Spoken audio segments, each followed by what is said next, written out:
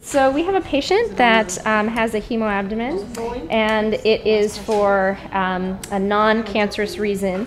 So this would be a patient where we might want to do an autotransfusion that is obtaining the blood from the abdomen, um, putting it in a satellite bag uh, with the hope and intention of uh, giving it back to the dog.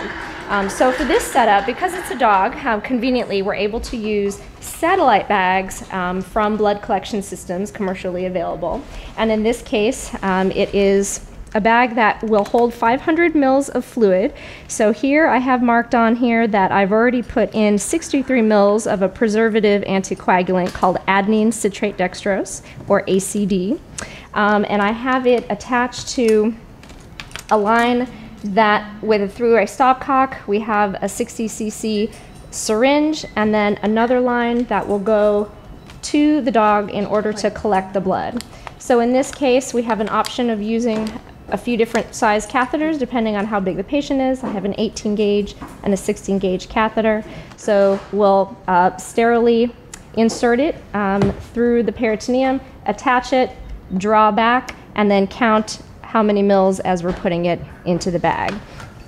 The second port here then is where we can attach the filter, the blood filter, in order to deliver it back to the dog when needed.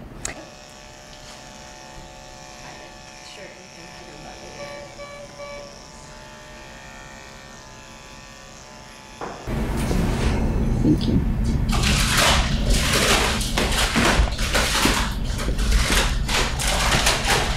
So we're using the ultrasound to find the optimum fluid pocket.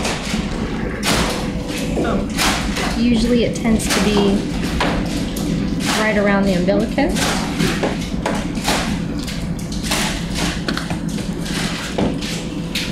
We're attaching the extension attached to the three-way stopcock and syringe.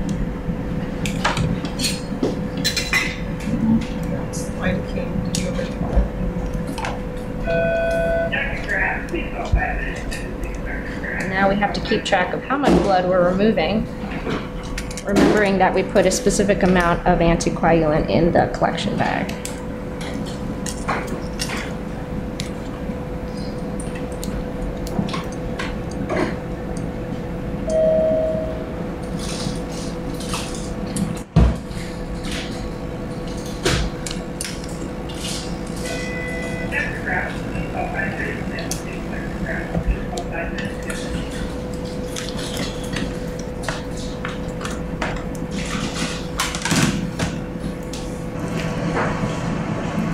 Because this is, this is great, we can have that going into her, going into surgery, we'll collect the rest of it.